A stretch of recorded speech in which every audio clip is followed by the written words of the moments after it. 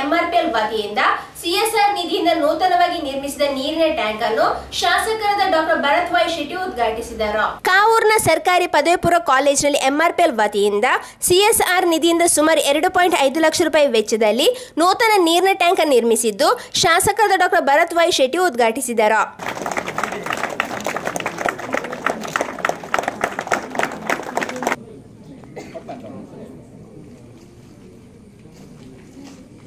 ಈಗಲೇ ಬ್ಯಾಂಗ್ಳೂರ್ ಅದು ಮಾತು ಕ್ಯಾನ್ಸಲ್ ಮಾಡ್ತಾರೆ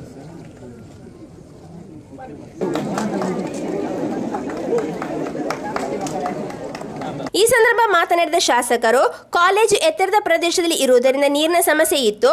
ಮಕ್ಕಳು ಒಂದು ಬಾರಿ ಪ್ರತಿಭಟನೆ ನಡೆಸಿದರು. ಇದನ್ನು ಮನಗೊಂಡು ಎಂಆರ್ಪಿಎಲ್ ಅನ್ನು ಸಂಪರ್ಕಿಸಿದಾಗ ಟ್ಯಾಂಕ್ ನಿರ್ಮಾಣಕ್ಕೆ ಅನುದಾನ ಬಿಡುಗಡೆ ಮಾಡಿದರು. ಇದೀಗ ಕಾಲೇಜ್ ಸಮಸ್ಯೆ ನಿವಾರಣೆ ಆದಂತಾಗಿದೆ. ಇದಕ್ಕಾಗಿ ಎಂಆರ್ಪಿಎಲ್ಗೆ ಅಭಿನಂದನೆಗಳು ಎಂದರು. ಹೆಡ್ ಡೈರೆಕ್ಟರ್ ಆದಂಥ ನಮ್ಮ ಪ್ರಸಾದ್ ಅಣ್ಣ ಇದ್ದಾರೆ. ಹಾಗೆ ವಿನಾಶ್ ಶೆಟ್ಟಿ ಅವರಿದ್ದಾರೆ ಅವ್ರಿಗೆ ಸಹ ಕ್ಲಪ್ತ ಸಮಯದಲ್ಲಿ ಕೆಲಸ ಮಾಡಲಿಕ್ಕೆ ಇಮಿಡಿಯೇಟ್ ಆಗಿ ನಾವು ಒಂದೇ ಫೋನಲ್ಲಿ ಅವರು, ಇಲ್ಲ, ನೀವು ಮಾಡಿ ಮುಂದುವರಿಸಿ. ಮಕ್ಕಳಿಗೆ ಏನು ಬೇಕಾದರೂ ಸಹ ಮಾಡಿಕೊಡುವ, ಶಾಲೆಗೆ ಏನು ಬೇಕಂತ ಮಾಡಿಕೊಡುವ, ನೀವು ನಮಗೆ ಹೇಳಿದ್ರಿ. ಈ ಕೆಲಸವನ್ನು ಮುಂದುವರಿಸಿ, ನಾನು ನಿಮಗೆ ಅದಕ್ಕೆ ಬೇಕಾದಂಥ ಫಂಡ್ಸನ್ನು ನಾವು ಕೊಡ್ತೇವೆ ಅಂತ ಒಂದು ಮಾತನ್ನು ಆ ದಿನ ಕೊಟ್ಟಿದ್ದು ನೀವೆಲ್ಲ ಇಲ್ಲಿ ಕೂತಿದ್ರಿ ಒಂದು ದಿವಸ ಜಾಗರಣೆ ಮಾಡಲಿಕ್ಕೆ, ಅಲ್ಲ? ಸಾರಿ ಸ್ಟ್ರೈಕ್ ಏನೋ ಮಾಡ್ತಿದ್ರು.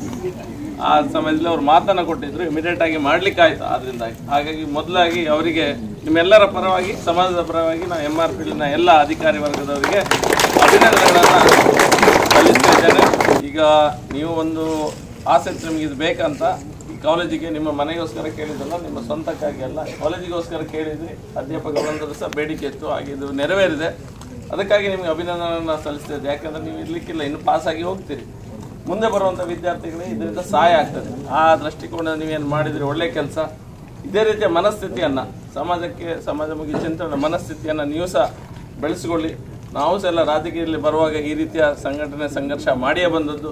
ನೀವು ಸಹ ಸಮಾಜಮುಖಿ ಧೋರಣೆಯನ್ನು ಇಟ್ಕೊಂಡೆ ಮುಂದೆ ಸಹ ಕೆಲಸ ಆದ್ಮೇಲೆ ಬೇರೆ ಏನಾದರೂ ಮಾಡ್ಬೋದು, ಒಳ್ಳೊಳ್ಳೆ ಹುದ್ದೆಗೆ ಹೋಗ್ಬೋದು ನೀವೆಲ್ಲರೂ ಸಹ. ಸಂಸ್ಥೆಯ ಸಿಎಸ್ಆರ್ ವಿಭಾಗದ GGMB H V Prasad, chief manager Veena Shetty ಪದವಿ ಪೂರ್ವ ಕಾಲೇಜಿನ ಪ್ರಾಂಶುಪಾಲೆ ಶೋಭಾ ಎಂಕೆ, ಪದವಿ ಕಾಲೇಜಿನ ಪ್ರಾಂಶುಪಾಲೆ ತಾರಾ, ಕಾಲೇಜಿನ ಅಭಿವೃದ್ಧಿ ಸಮಿತಿಯ ಸುಧಾ ಮತ್ತಿತರರು ಉಪಸ್ಥಿತರಿದ್ದರು.